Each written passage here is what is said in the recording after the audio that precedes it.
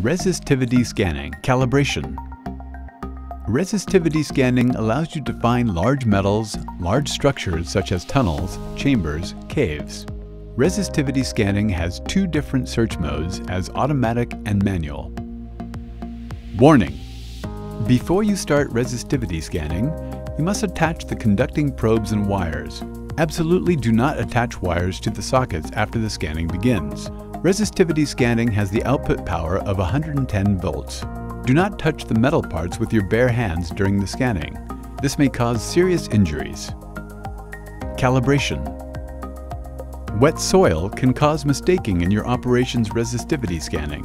In order to minimize the rate of mistaking, you must perform soil calibration.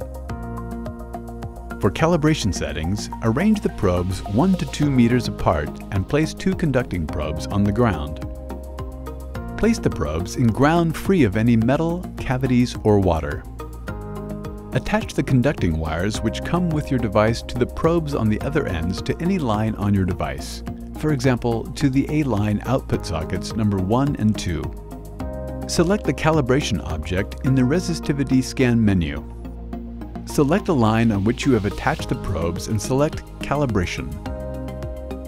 The calibration should now be completed the data will be fixed as soil level. In automatic search or manual search modes, you can scan with the obtained calibration value.